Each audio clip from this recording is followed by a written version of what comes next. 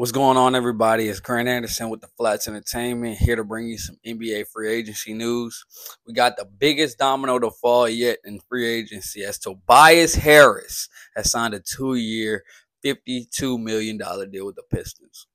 Now, I know that's not what everybody was expecting here, but now we're going to really be talking about Paul George today signing with the Philadelphia 76ers. Four years, 212 million. I think this is going to be a very beneficial contract to them, but there could be some problems that lie down the line, so we can talk about those. But the Sixers have gotten better here, obviously bringing in an All Star like Paul George.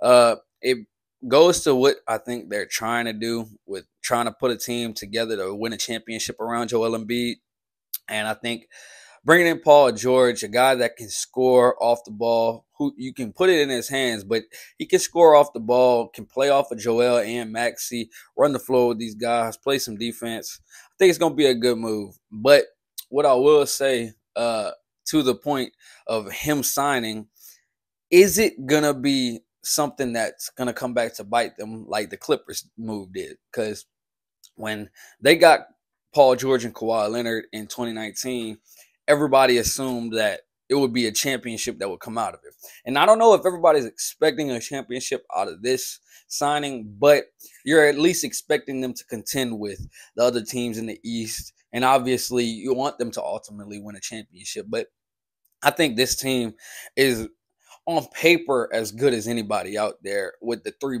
main players they got. They also were, uh, were able to re-sign Kelly Oubre today for two years, 16 million. Uh, they also brought back in Tyrese Maxey. He's going to be signing on over a $200 million deal to catch uh, his max. So, I mean, they just, there's a lot of stuff going on with them. They re signed Eric Gordon. Uh, they brought back Paul Reed. Just a few other players, like just to get, oh, and Andre Drummond as well. So the Sixers are still like keeping most of their team together from last year, except they brought in Eric Gordon. I forgot he was with the Suns last year. Wow, couldn't even think about that. But uh, like they're bringing somebody back in like that that can play a wing, either wing, you know, small forward or shooting guard, can defend pretty much. But he's coming in there to shoot and score. We know that.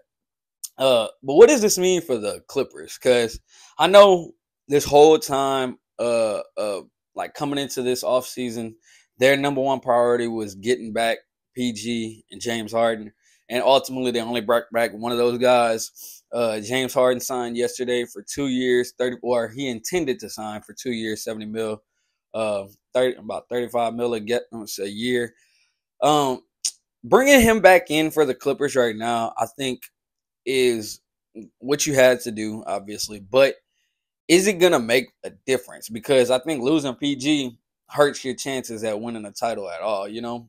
So it's gonna really like fall on James again on how he I'm not saying it like that, but and we all know kind of at this point in his career, like James doesn't need to be a second leading scorer on a team, I guess, you know what I'm saying? Like he can be when needed to, but you don't want to have to have him like focus all his time on just scoring. I feel like you want him to set up the offense. He's turned himself into one of the best playmakers in the game.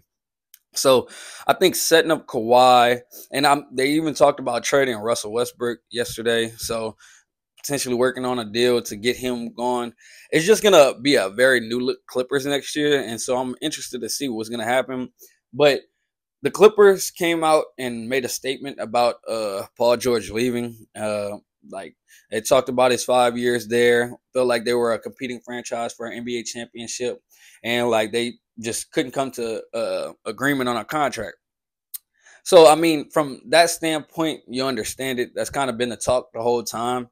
Uh, I just think it's gonna be real interesting to see what the Clippers are able to do now because I, I think their title hopes are over for the foreseeable future. But it's gonna be interesting to see if they're gonna still be like a competitive team in the West uh to see because there's there's a dogs out there in the West now. I mean, you got Minnesota, OKC, Denver, uh, Dallas. Like LA is still right there, the other side of LA. You know what I'm saying? So it's just gonna be a lot of interesting things coming uh to fruition. But I think this Paul George to the 76ers is one of the better deals that they got because uh, I was listening to Get Up earlier this morning and one of the guys on there was saying like for 29 other teams, this might not have been the right deal, but like for the Sixers specifically, that was the right deal.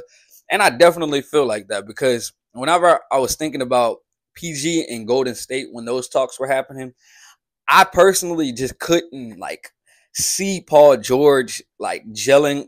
Uh, even if they did gel, I don't see that being enough to get them to a championship. So sending him to Philly, where I feel like you got two guys who are in their prime of their careers, and maybe even Maxey's not even in the prime. Like he's getting there, you know what I'm saying? But he's like they're all stars. You know what I'm saying? Like they're all stars.